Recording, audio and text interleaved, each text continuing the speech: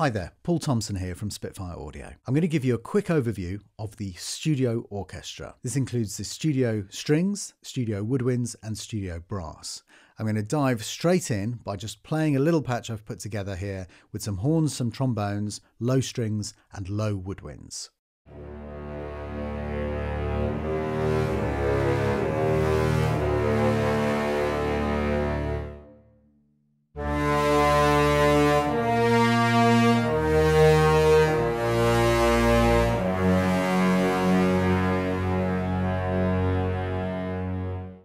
So as you can hear, you can get an incredibly fat sound. All of the instruments knit together really beautifully. Um, let's dive in and look at some of my favourite selections from the libraries. I'm going to start with the professional libraries just so I can show you the different microphones and how you can use them. So we're going to start with the horns, A4 and the six player cello section.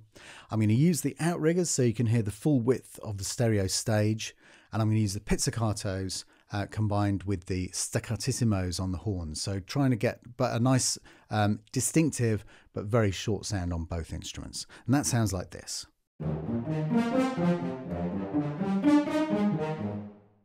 And for a variation on that, I've put up a couple of different microphones.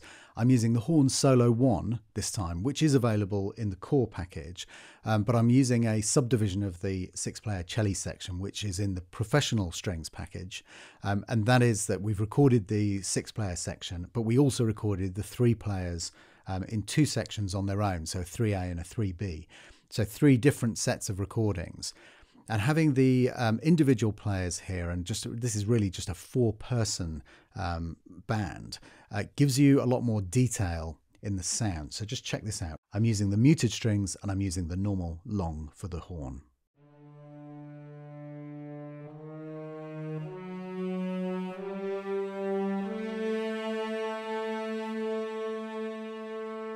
And this sounds really good if you just keep it really nice and quiet senza vib without any vibrato, and just play these kind of uh, chorale style chords.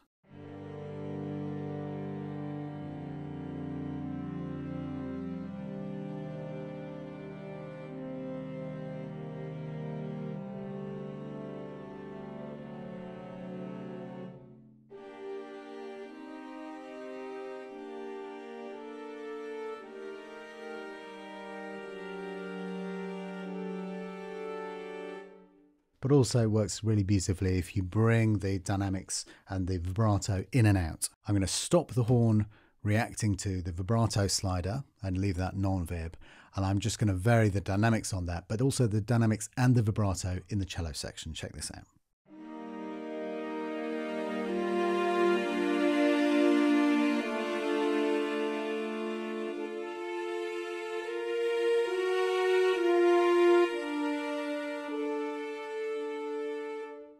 So really beautiful sound and we can also test that out with a solo trombone.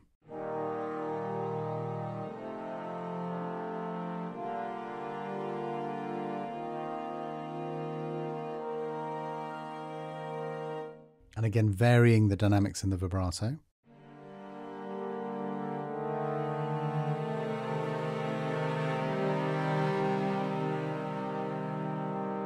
So these sounds blend together really beautifully. Let's look at some something different from the top end. So here's a different combination. We're using trumpet solo one playing staccatissimo, so as short as possible. And the violins, we've divided the violin one section into two. Um, so the first half of that section is playing up an octave. The second section is playing at the same pitch as the trumpet. And then the violin twos as a block are playing the octave down.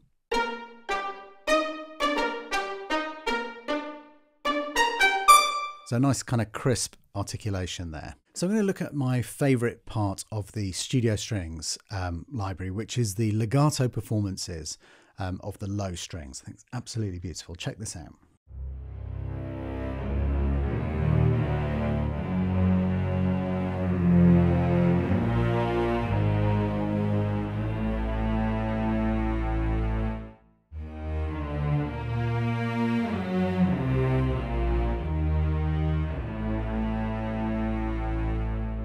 So as you can hear, um, they're moving really beautifully together. I've got them playing in octaves, which is what the cellos and basses most commonly do. You've got the switching here by how hard I'm playing on the keyboard between the standard kind of fingered legato or a, just a, you know, without changing the bow, just actually moving the fingers. And then um, a portamento legato, which is like a kind of slide sound. So where the fingers um, would slide up or down in order to give that really nice kind of gliding sound. Moving on to another of my favourite sounds in the library, it's the high violins playing con sordino, which means with the mutes. Uh, these are small rubber um, mutes that go on the bridge of the instrument and give it a really characteristic kind of um, soft and whispery sound. Um, if we put these together, I've got the uh, violin 1 section, the 8 player violin 1 section, and the 6 player violin 2 section. And this will provide an interesting contrast between the professional and the core versions of the library. So the only difference here is the extra microphones. So let me play a little section here with the um, professional version with these extra microphones, and then I'll switch immediately to the core version, and you can see what the difference is um, between those two sounds.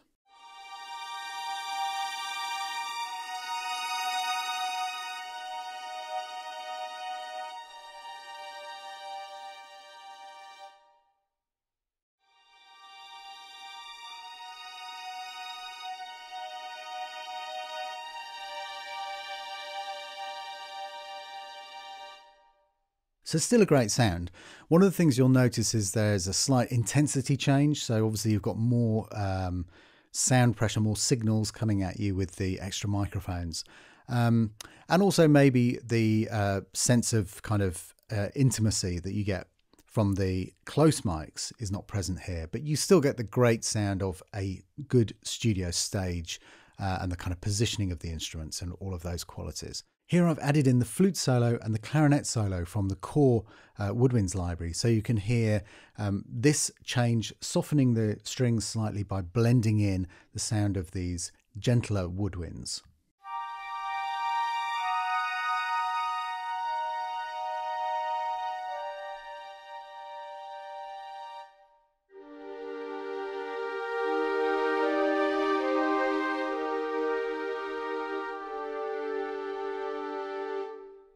Going back to the professional ranges now with the woodwinds and the studio strings, I'm going to show you blending some of the really small sections of the studio strings professional, um, which are the violin 2 section and the viola section, the divisi, just one half of those sections, um, with the alto flute and the bass flute. Um, and just check out this sound, it's a really interesting sound.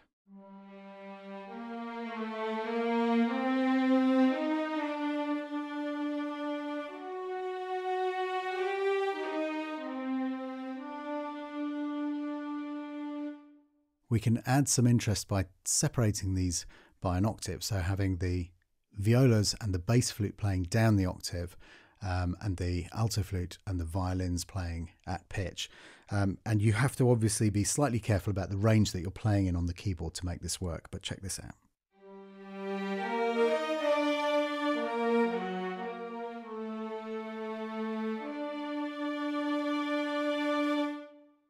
One of my favourite sounds is doubling up the bass and tenor trombones, um, have a slightly different sound across the range, and getting them to accent things within a track. Um, so I'll just show you them playing unison with the Add To patch at the moment. This is from the core library. And if we split those out uh, and play, I know we're creating a slightly false impression by playing more than one note, but let's um, play a chord with that. Really great, big, punchy sound.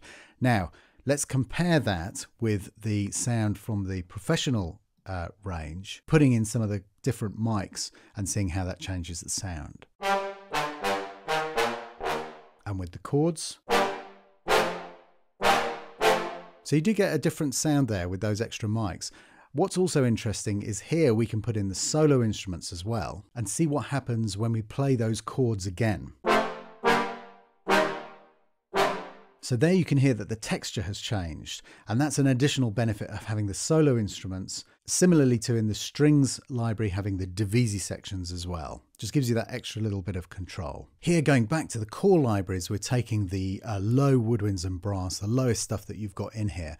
Um, the bassoons a3 and the bass clarinet in the woodwinds, and then the tuba and cimbasso in the studio brass, getting them all to play their shortest notes and have a listen to how they blend together.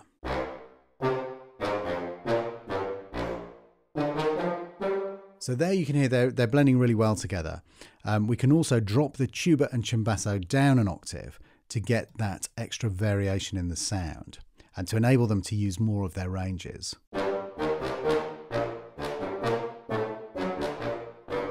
So moving across to the professional libraries, um, we're going to try the lowest instruments in both here. Contrabass trombone and contrabass tuba in the brass library, contrabass clarinet and contrabassoon in the woodwind library. So let's, um, I've put up a mic mix as well. Let's just check that out and see what those sound like together.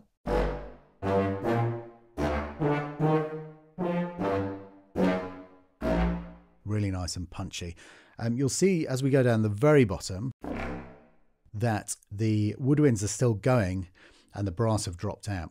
So one thing that I would try just to see um, how it kind of sounds is to pull the woodwinds down an octave and hear those again and just hear how that affects the sound.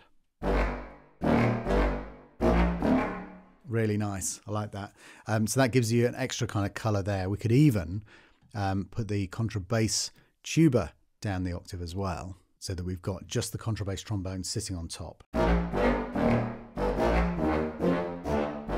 So lots of different options here, and having those extended instruments that give you the extra bit of range at the bottom um, can be useful in some cases. So again, that's a kind of decision that you can make on the basis of the style of music that you're writing. So one final example, which is a sound that I like, is having the piccolo trumpet doubling with the violins and then the violas playing an octave below that. And I'm just using violin section one at the moment so we don't totally overpower that piccolo. Um, but have a listen to what that sounds like.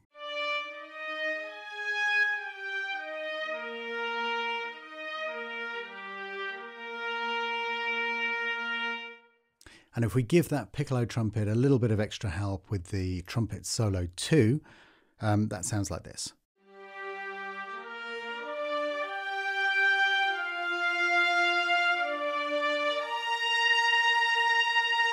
So some really beautiful blends that you can get with these different instruments and different section sizes um, and different kind of mics as well, blending the microphones according to the kind of sound that you want to get.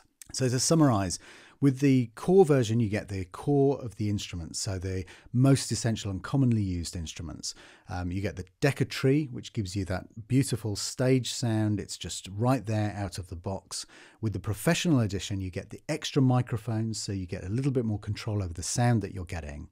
Um, and you also get some extended instruments, so you get some of the more unusual instruments and maybe a few extra solo instruments here and there as well. Check out the description below to see not only the individual walkthroughs of each library, but also a really useful and interesting video that Christian has put together using the entire studio orchestra. Thank you very much for watching and look forward to seeing you on the next one. Bye bye.